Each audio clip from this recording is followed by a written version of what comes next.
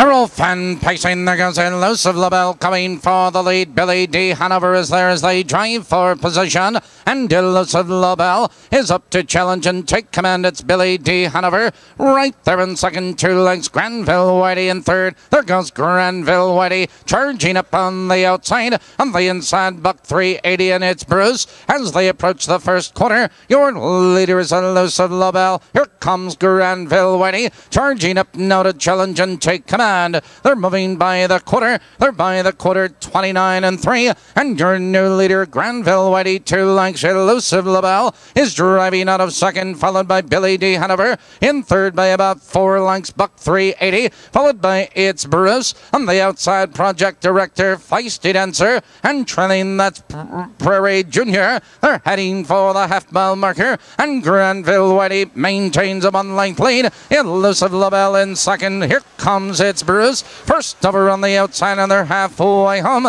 They've hit the half one a one and one into the clubhouse turn. Granville Whitey maintains the lead as it's Bruce moves on him on the outside. A challenging second. Elusive LaBelle is right there in third. Project Director follows cover on the inside. Billy D. Hanover and Feisty Dancer. Now they curve into the back stretch, and Granville Whitey leads the way, but it's Bruce charges upon the outside with a rush.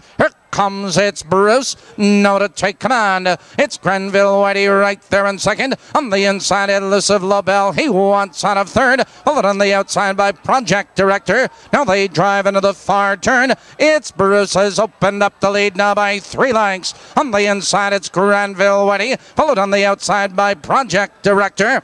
Here they come and down the stretch they go. It's Bruce opens up the lead now by four lengths. On the inside, it's Granville Whitey as they come to the wire. It's Bruce is showing the way. It's Bruce is all by himself. It's Bruce at the wire.